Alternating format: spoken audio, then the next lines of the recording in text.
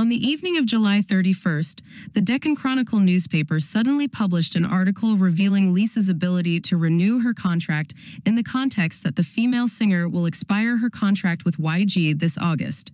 According to Deccan Chronicle, Lisa is expected to leave the company that has been with her for more than 12 years, and the cause comes from income inequality. The source said Lisa is the most famous member in Blackpink, but she receives the lowest salary. This paradox prompted Lisa to find another management company to receive a better salary, commensurate with her reputation.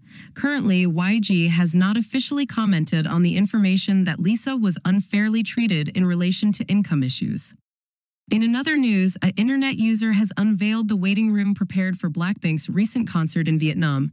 In particular, a TikTok user recently published a video which captures scenes from Blackpink's waiting room before the concert.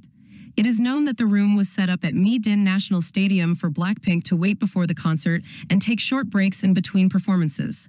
As can be seen, Blackpink's waiting room is not too large, but still remains airy and cozy. The walls are entirely covered with black curtains to ensure maximum privacy for the members, while interior design adopts signature colors of black and pink. In addition, four unicorn plushies in pink colors were also prepared, and fans couldn't help but squeal over the cute image of Blackpink members using them. The waiting room is also equipped with a snack counter offering a variety of snacks, such as sweet and savory pastries and chewy candies from brands in both South Korea and Vietnam. There were also packs of instant pho and instant ramen, alongside a dedicated beverage area with paper cups. Since Rosé is known to be a fan of pho and Vietnamese food, fans expect her to have enjoyed the snack bar. At the same time, even the air conditioner was painted black, and a fully stocked refrigerator with various drinks and refreshments in the same theme was available.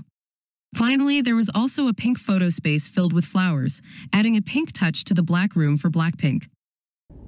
Thank you for watching our videos on Korean ENT channel. Don't forget to subscribe to our channel and hit the like and share buttons to update the latest news of the day.